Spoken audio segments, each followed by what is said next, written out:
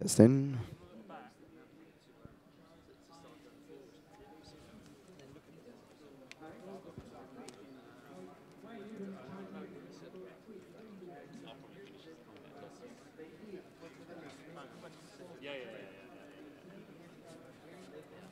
You have terrible colleagues at Wayra. I know they've all just literally run off somewhere. Doesn't matter. Then have to start now. So you stand, stand on there. And It's okay.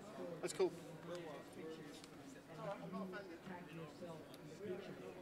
we've been busy with are people all the time. And then they vanish. Terrible.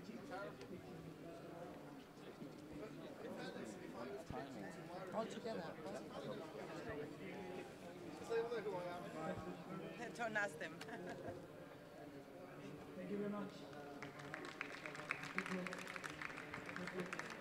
Do I have to press a button?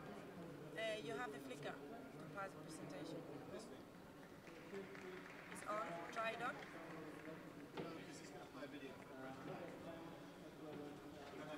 The first is the video.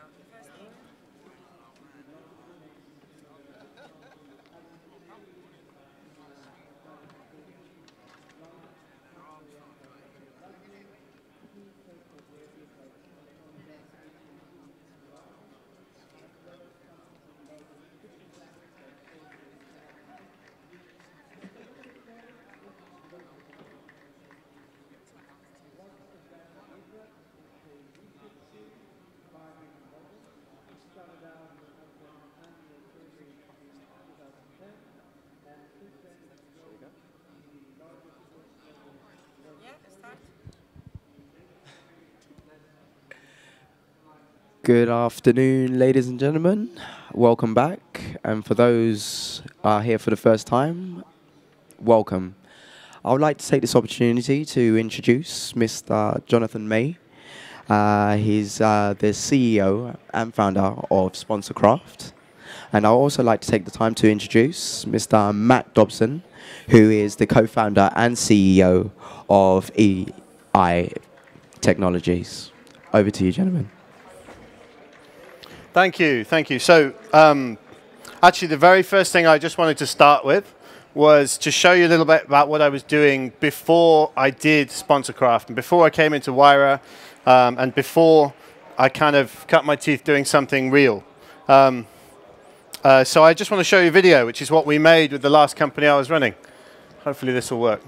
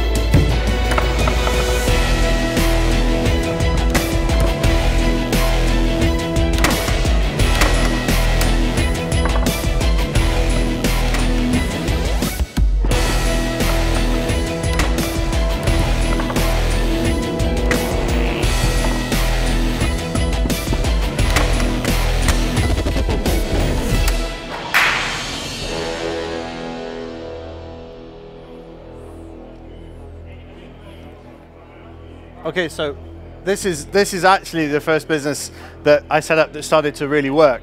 And the reason I set it up, some of you may have already heard, um, is when I was at university, I, I used to play loads of sport. I got injured playing rugby, and I was sat there, and all I could do was uh, was was actually stand in the bar and play table football. Um, so that was all I was doing, and that was me on the video. Um, and eventually I discovered there was a tournament scene, and there were, there were people who played more seriously. Uh, and before long, I was playing for Great Britain, spending two grand a year, traveling all over the world to play. Um, and I thought I should do something real and try and make some money out of it. Um, so having screwed up a whole bunch of about five or six startups um, before this, everything from web technology to uh, I did some hardware development at one point. I tried to set up a microelectronics company. I'm originally a techie. Um, I decided to do something where there was a real product. I could import it from somewhere, I could sell it somewhere. Um, I understood the market, the model, I understood the manufacturers. So I set this business up, we brought the tables in, we ran them in pubs and clubs across the UK. Uh, we set up a retail channel. Um, tables were coming from China. Um, and it really, it really grew to scale. I mean, we, had, we have, I think we still have 250 tables across the UK. So um, that taught me an enormous amount of things about business and also about the fact that the most important thing is for you to understand a bit about your market and really be passionate about the product and the thing that you're selling. If you can't do both of those things, you really haven't got anything to, to sell. Um, I'm now doing something completely different. So in 2011, um, I put together two of my great passions, um, education and, uh, and to be honest, the revolution that we have in finances on the web. So crowdfunding. Kickstarter didn't exist in 2008. Um, now I think Kickstarter's done the best part of three quarters of a billion dollars worth of um, transactions for people. So in the crowdfunding space, this is an absolutely enormous new market. Um, and we really believed in, in bringing this awesome new technology, not just technology, but this awesome new piece of social finance to a sector which is going to be so critical to the 21st century. Um, so really, that's kind of uh, that's where we started. We started the crowdfunding platform to help students and to help universities to raise money. Um, our model is quite simple. We have an open platform, a platform students can use, and they can use it to raise money for their projects, ideas, events. And the, the universities can also license this platform and use it uh, for, for all of their own projects. Um, and that enables the university to build a community of alumni and the general public who care about their projects, who care about what research is going on, who care about uh, what the students are actually doing. And I don't know about you, but when I left university, I didn't hear from my university for five or ten years. They've just started, started to get in touch, and what they're asking me for now is 500 quid or 1,000 quid. They're not telling me where it's going. They're not telling me what it's going to be spent on. They're not telling me uh, which students are involved, and I don't get to talk to those guys about what they're actually doing. Um, so we're basically trying to revolutionize that sector. We're trying to make it more social, more transparent, more efficient. Even if you look at what the sector does today, it's a, it's a $50 billion sector. Every year, $50 billion is given to universities by their alumni, but that's from just 5% of the alumni. So it's an enormous opportunity if we can actually make it more social. So, I mean, I was going to say a little bit about what things went wrong in that process. Um, and some of the biggest mistakes we made and perhaps how to avoid them. One of the, the biggest mistakes we made first was the first university we went to talk to about this. Just before we had a website, before we had anything to show anyone, we went up to a university, um, one of the colleges in Cambridge actually, and said to them, we've got this amazing platform. Your students should use it. It'll be great for them. They'll develop entrepreneurial skills. You'll get uh, donors giving back to these projects. And they went, we can't use this because it doesn't have our brand on it. If you give us one with our brand on, we'll pay you for it. And at the time, we decided to disintermediate the universities. We thought we didn't want them involved. We thought we just wanted students to go and run their own things, to connect directly with the alumni. But actually, what we had there was an opportunity. We had a customer who'd stood there and told us what was wrong with our product and our proposition. But we, we felt we knew better than they did how the market worked. And actually, it cost us about a year in the development of the business because we didn't go and talk to five or ten more universities. Instead, we kept pushing out to students and we kept marketing to students. And here's the thing we missed without the university on board, you're relying on students' own networks, you're relying on their own passion. You're missing some of the research projects. You're missing the larger building projects. Our first university customer, Southampton University, has 187,000 alumni and they're just developing a new cancer center to help cure various forms of cancer. From that network of alumni, they can genuinely fund million pound plus projects. They couldn't be doing that if it was a student project, and they couldn't be doing that without the university alumni support. So it's really important, listen to your customers. Um, and talk to more of them very early on, even before you have a platform. Go talk to all of them. We also did, we're quite a tech strong team. I was a, I was a techie at university, and um, we built all sorts of random shit. We built features all over the site. We thought that the right thing to do was just keep building stuff um, and tweak the product and fix things. And actually, we had a good enough product after about month two. Um, it was already live, it was already running, and we just needed to get out there and sell more. And if, if all of us had sat there selling more rather than building another 10,000 lines of code, we'd have actually, again, been probably six months further ahead of where we are now. Um, yeah. And uh, I'm just trying to work out. So the, the, the, really interesting thing, so our story is, yeah, we did about a year, year with a crowdfunding platform. Then we did about another year re-engineering it so we could license it to universities. And after that, uh, we started looking at how we move around and what we do and what we do next. We applied to, to Wayra, uh, which is why we're here. And we also applied to Unlimited at the same time. And the combination of applying to Wayra and Unlimited and questioning and thinking about what our big value proposition was and what we actually believe is going to make a difference uh, was actually what brought the, the, company together and enabled us to actually succeed uh, and actually progress as, as a company.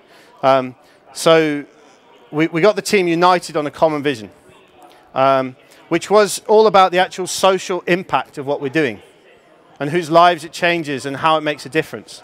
Um, and I mean, some of that's been coming through, uh, th through the program we've done with Unlimited.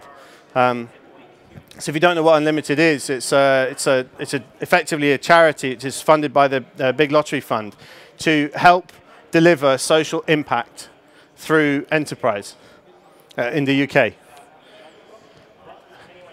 Creating a company without a social purpose is probably pointless in the long run. Because in the 21st century, we don't live in a world with like unbounded resources. You can't just keep consuming and you can't just keep building things that will take up more of people's time, energy, resources. So actually going through the program and being questioned about why we were doing what we were doing, what difference and what impact it actually made to people's lives, enabled us to actually put together a value proposition that worked both for the business, for the business's stakeholders, but more importantly for the customers. Because when you're going to pitch to a university, if you can tell them how you're going to change their lives, and how you're going to change their students' lives and how you're going to change the staff's lives and the alumni's lives, you actually have a story and you have a product and you have something people actually want to build, uh, actually want to use, actually want to buy.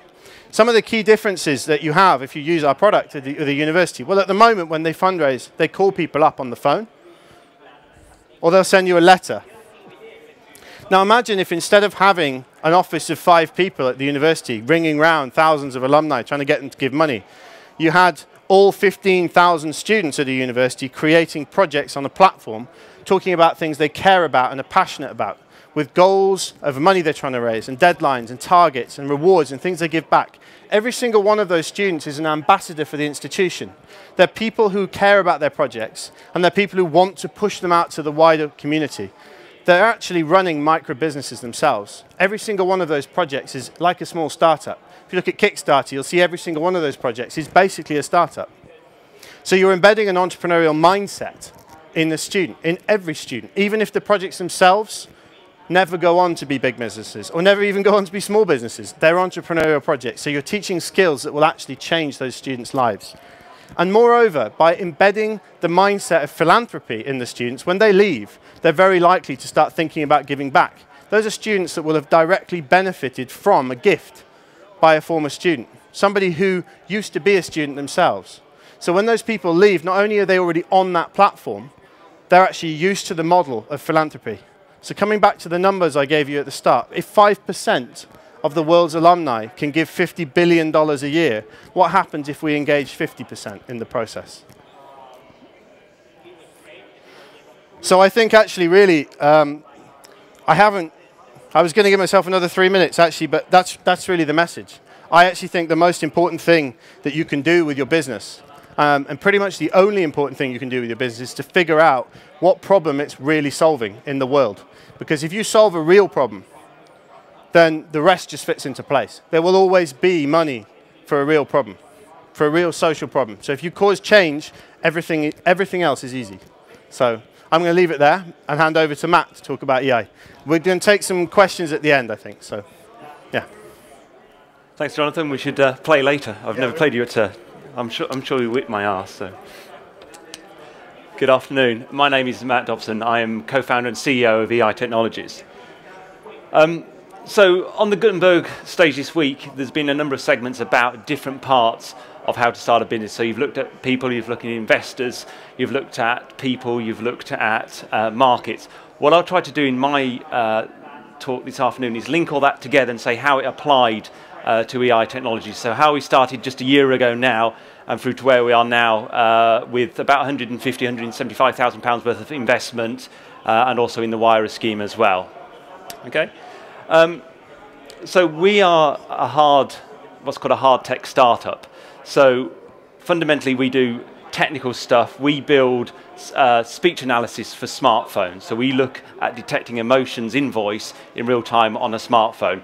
So already, you know, tailor what you see, what you hear from me this afternoon with, you know, this is a technology startup. This is not a uh, consumer startup. There's various different models. Okay. So a bit, bit of a background of me and how we got this started with, with the whole trends here. So I used to work for Philips Electronics. So Philips Electronics build everything from, um, you know, uh, what they're called, Philips shaves, light bulbs, uh, hospital CAT scanners as well, the whole lot. I was brought into Philips to look at their technology, find new opportunities which would come to market in three, five, eight years' time, and look to build businesses, new businesses of things and categories which didn't exist within Philips, and bring those online and create them into business units. The area I was particularly interested in is the whole idea of what's the, the consumerization of healthcare or health 2.0. So people looking after their own health, people looking after their own health and well-being. And why is this happening? So there's a big trend in the world. So this is this is where the groundswell comes from. We're talking about big changes in numbers, big changes in behaviours. We were focusing on the fact that people in the Western hemisphere, you know, in the Western nations, the developed countries, there was changes going on within the healthcare system. So in the States, it's becoming extremely expensive. So people are spending more of their own private money on treating their own healthcare and also doing preventative healthcare. People in, in countries with uh, state healthcare, like the UK, they're realizing there's restrictions, limitations on what the government will give you, so people are having to spend their own disposable income in managing their healthcare. And then you've got developing countries like China, and India, where you've got this whole middle class swelling up who have disposable income and they don't have a health system there from the state, so they're having to spend their own money. And people are realizing actually it's not me spending money when I'm ill that counts. It's me spending money on keeping me from being ill, which counts. That's where I'm going to spend my money. And that's where our focus was within Philips, looking at um, this new segment, this new trend in the market, uh, this whole groundswell um, of bringing this through. And you can see companies now that are coming through. So you've got people like Fitbit, for example. Uh, you've got people like BodyMedia. These are in the same sort of space, which are very small uh, startups who've all started in this space. So these were the trends coming through, driving this forward. Um, I left Philips at that point. Um, but I came away with this idea, this insight from this trend in the market and saying, actually, this is something which will work. You know, this is a big trend. It's investment hot. There's a lot of interest in this area, a lot of investment moving into this area. It's an area I know really well. Okay, so I'm going to have a go and start a venture in this uh, of my own. Um, and then it was asking people. So getting in contact with people that I knew that could validate what I wanted to do. So I first opened a magazine a couple of, uh, a couple of months after leaving Philips and read in there some technology that was um, some smart technology for analyzing voice on a smartphone. I thought, actually, that's kind of cool. That's better than the stuff we were doing before. It's on a smartphone. It's a mass market appeal. So I knew that you know this is mass market appeal for a mass market trend. There's got to be a fit here. I, I went into my networks. I, I phoned a few people up literally and said, look, this is my idea. It wasn't a product, wasn't a market what do you think? Is it going to work? Is this investable? Is this investor hot? And they gave me the confidence to take those a stage further, to develop some ideas, to go out and talk to potential customers, to talk to potential investors saying, you know, would, if I did something in this area, is this investable? What would it take to be investable? So getting feedback from your potential customers, your potential investors of what would work and what wouldn't work. And there came a point at which I said, okay, right, this is go. I know how to do this No, I, I kind of have an idea. I know how to make it investable. I know how to get money out of people. I know where to sell it. And then it was my first hire, really, getting my co-founder on board. So Duncan Barkley, who's our CTO, I've known him for a number of years. He, he's worked with me previously on some other sort of tech I was doing within Philips. And uh, literally, I phoned him up and said, look, I've had this cool idea. I think it's a goer. Let's have a chat about it. So we sat down July last year, and I went through the idea. And he went, fine, that seems a goer. And then literally that's the first person, the most important person you have on board, the first person who actually believes that it's going to work, because then you're not mad. Then you've got some sort of validation. So he started to fill in the technical domain. I then had a good conversation with my uh, other colleague, um, uh, Professor Mike Catt. So Mike Catt is one of the guys behind the invention of the uh, Clearblue pregnancy test. So he's got a long history of innovation in the healthcare market. So he was my domain experience guy to give me the credibility of, you know, if I can convince Mike Catt this is a goer, actually investors will believe me now. And so getting Mike on board and say, look, Mike, this is what I'm going to do. We've explored these ideas before. Here's some technology. Is this going to work? I've got this technology guy on board. And that was it. Once he said, yes, okay, we can, we can believe we can do this, then we can move forward to the next point at that stage. Okay? And don't forget, the people in your team are who investors put their money behind. So you need to have, as we said up here, this, this idea of Y Combinator. That really is true. I had the business experience, I'd done it before. I had some of the domain experience. Duncan brought in some of the technical experience and some of the business experience, and Mike brought in a whole cross gamut, mainly of the domain experience, but some of the technical experience and a lot of the business experience as well. When you've got that, you've got a shape of a company which is believable to be investable in at that point. The next one we looked at is markets. So you're taking a trend which is a grounds groundswell of change to actually markets, so markets which actually consume things. Um, so we were quite lucky here. For a hard tech venture, we we were quite unique in actually having come up the, with the market idea, the product first, and then the technology second. So we actually came to this point of knowing what the market was. Um, but we looked at the market, and the market was healthcare, and it was a good it was a good opportunity. It was a big opportunity, but it wasn't massive. And what we figured out through conversations with investors, because we were ours was a speech technology, we actually could be a much bigger market. Uh, and overnight, EI technologies changed from a healthcare market into a speech recognition platform. Okay, so there you're moving from a tech product to tech platforms, and platforms are much more, uh, much more valuable longer term than individual products are. But unfortunately, that complicates things because instead of you having to sell a product uh, and offering a service to an investor, to a customer, you now have to sell a platform. And platform, you lose some of the focus you have on a product, but, but uh, platform equals massive, product equals fairly big. So you have to do that change. That was a real struggle, and we still struggle with that now, selling to investors, especially the difference between angels and VCs, because angels, angels tend to invest in products. They want things that they can ship and sell and get money on. VCs invest in platforms. They want the big play. They want the massive opportunity. And as a, as a startup, it's how you flex between being a product and how you being um, a, a, venture platform uh, proposition as well, which is, a, which is difficult to do. We still haven't got right, but it's working on it. It's the story that you tell going through this. And the final part is the product. Okay, so here we kind of knew the market. The market was health. The specific market we were looking at, we had to identify an area within that where our technology would be superior to everyone else's technology and also the status quo within that market. And it had to solve pain. It can't be just a nice to have to make someone feel a bit better. It actually had to cure them almost. It had to be 10 times better, 10 times faster. It also had to be a product which fits in with something that already exists. It's very difficult, I wouldn't say impossible, but very difficult to bring something to market which nobody has an equivalent to buy now because people have to learn a new behavior. And that's really difficult. It's much better to substitute one thing for a better thing and your thing rather than have them learning a new behavior. Um, so we had to find all this in, in, a, in a niche market. So the only name I'll mention today is uh, Geoffrey Moore.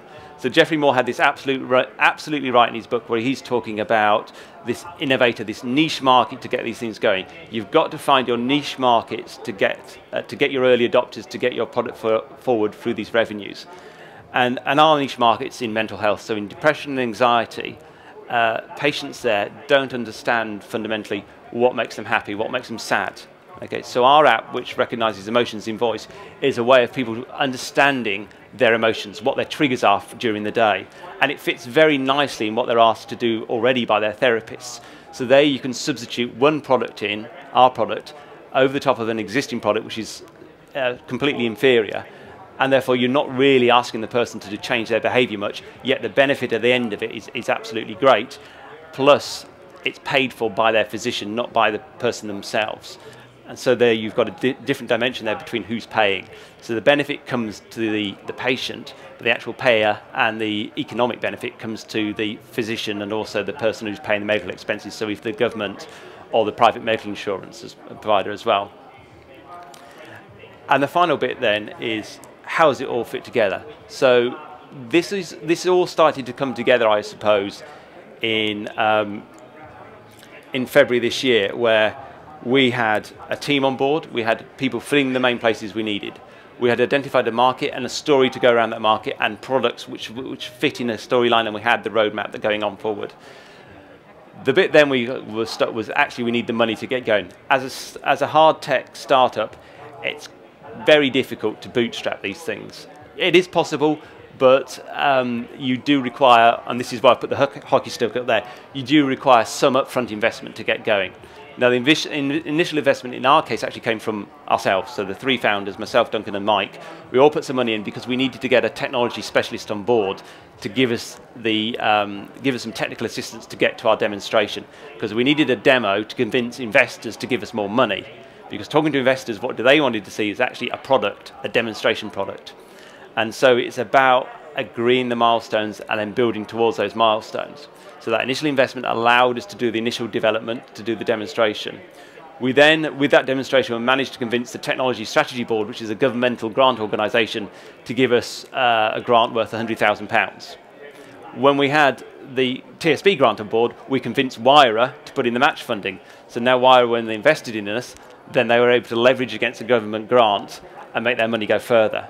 So now it all starts to come together and make sense for investors. Um, so now we're at a point where, after working on this properly as a company for just over uh, 13, 14 months now, we're in a stage now where we've raised £150,000. We're still looking for a bit, about £50,000 now to move us on to the next stage. We've uh, got together our team, we've got together our market, we've got together our product, and we've got together our finances as well. And we've got that story which all fits together in a coherent way that links all together, put all these parts together. Okay, thank you very much. Jonathan, would you like to join me back on stage?